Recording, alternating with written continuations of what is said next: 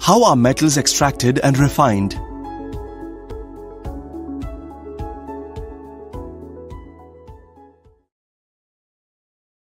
Extraction of metals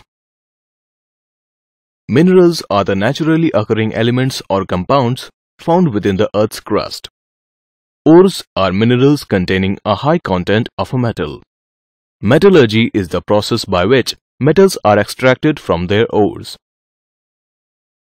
Metals can be extracted based on their reactivity. Metals of low reactivity such as mercury, silver, and gold are extracted from ore by heating. The ore of mercury is called cinnabar and has a chemical formula of HGS. When cinnabar is heated, it will be reduced to metallic mercury. Moderately reactive metals such as iron, zinc, and lead are found in ores as sulfides or carbonates.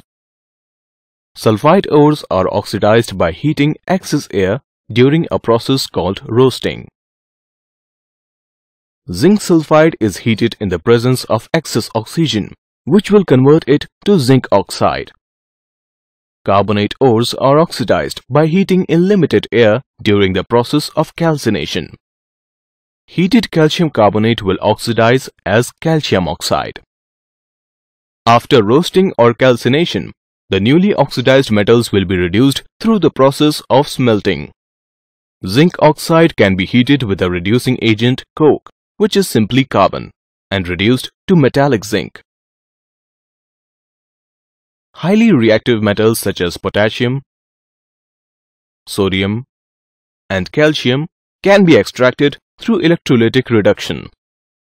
Sodium metal can be extracted from its ore, sodium chloride, using electrolytic reduction.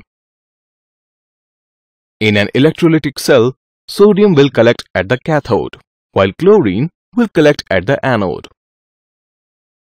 Summary Minerals are the naturally occurring elements or compounds found within the Earth's crust. Ores are minerals that contain a high content of a particular metal. Metallurgy is the process by which metals are extracted from their ores.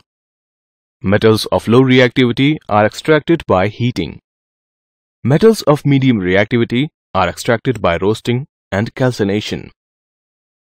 Smelting is the reduction of roasted or calcinated metals. Highly reactive metals are extracted by electrolytic reduction.